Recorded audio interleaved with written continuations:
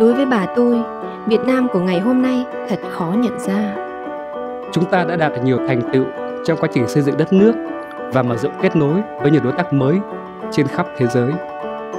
Ngày càng nhiều người được tiếp cận các dịch vụ giáo dục và y tế, đặc biệt là phụ nữ và trẻ em gái.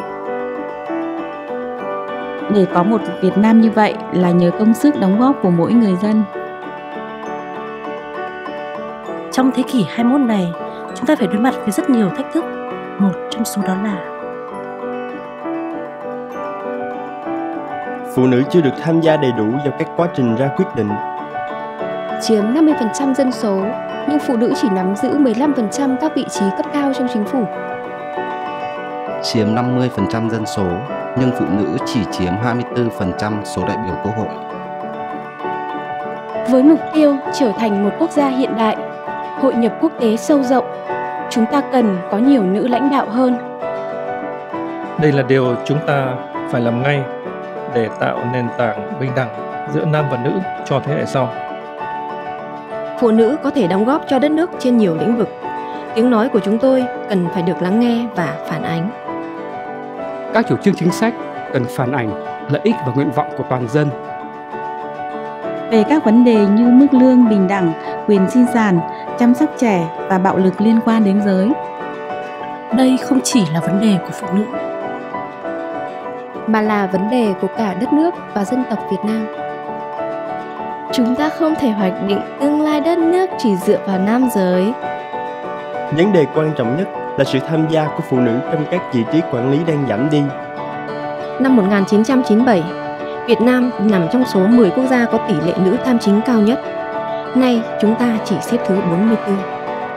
Hơn bao giờ hết, sự thay đổi là thực sự cần thiết Vậy chúng ta có thể làm gì? Chúng tôi có một kế hoạch, nhưng chúng tôi cần bạn giúp đỡ.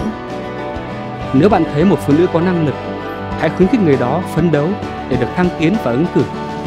Tạo cơ hội cho người đó học tập và phát triển sự nghiệp.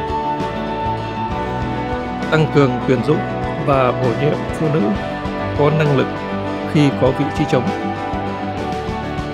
chia sẻ gánh nặng gia đình đây là lúc người đàn ông hiện đại thể hiện vai trò của mình. Đề cử nhiều phụ nữ hơn nữa hãy để danh sách bầu cử có 50% là phụ nữ. Khuyến khích phụ nữ tự ứng cử đề cử và bầu cử cho các ứng viên nữ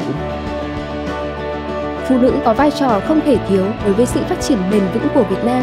Hãy cho họ không gian, thời gian, cơ hội và cả kỹ năng để thực hiện.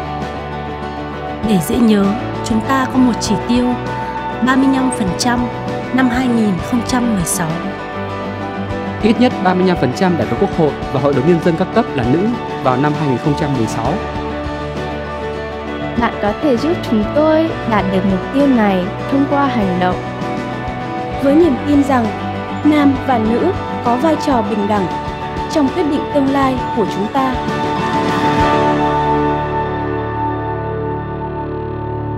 Hãy làm before,